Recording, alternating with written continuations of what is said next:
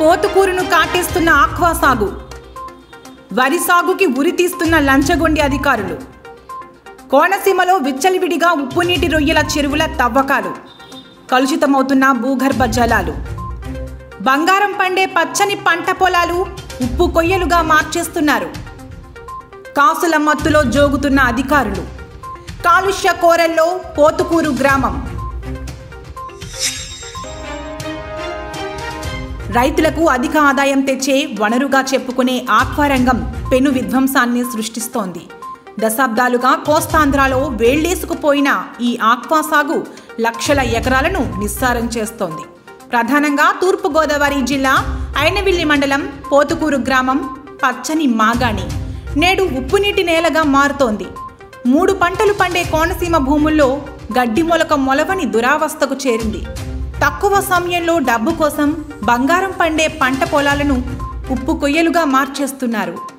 కొందరు స్వార్థపరులు తక్కువ సమయంలో కోటీశ్వరులైపోవాలని ఆక్వాపై ఆశలు పెంచుకుని నిబంధనలకు విరుద్ధంగా రొయ్యల చెరువులు తవ్వి పక్క రైతుల పచ్చని పంట పొలాలను ఉప్పు కొయ్యలుగా మార్చివేస్తున్నారు. ఈ అక్రమాలను అరికట్టవలసిన అధికారులు డబ్బులు రుచిమరిగి అవినీతి మత్తులో జోగుతున్నారు.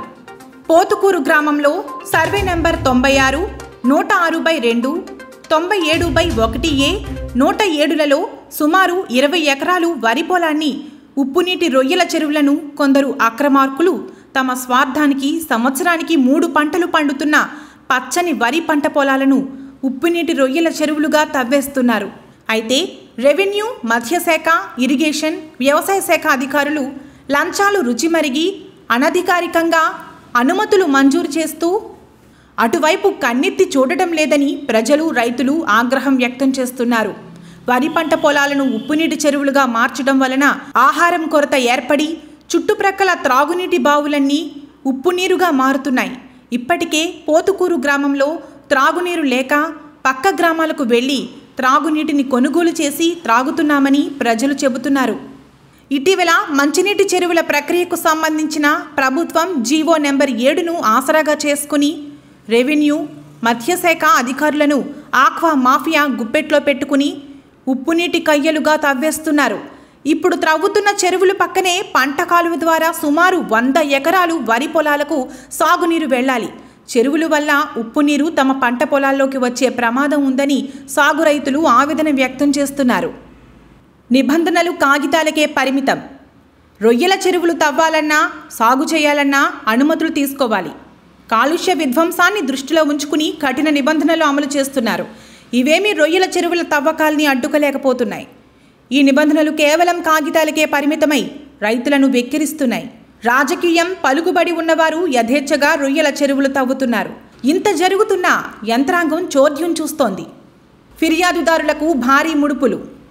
ఇదే రొయ్యల చెరువులపై గతంలో కొంతమంది గ్రామస్తులు రొయ్యల చెరువుల తవ్వకాలు నిలుపుదల చేయాలని జిల్లా కలెక్టర్ అమలాపురం ఆర్డీఓ అయినవిల్లి తహసీల్దార్ మరియు పలువురు అధికారులకు ఫిర్యాదు చేశారు. పై అధికారుల ఆదేశాల మేరకు కొన్ని రోజుల పాటు చెరువులు పనులు చేపట్టకుండా మిన్నకుండిపోయి అమలాపురంలో ఒక మంత్రి అనుచరుడింట్లో ఫిర్యాదుదారులను కూర్చోబెట్టి వారికి భారీ ఎత్తున సొమ్మును ఎరవేసి రొయ్యల చెరువులపై ఫిర్యాదు చెయ్యకుండా నిలుపుదల చేసి మరలా చెరువులు తవ్వుతున్నారని పోతుకూరు గ్రామ రైతులు ప్రజలు చెబుతున్నారు.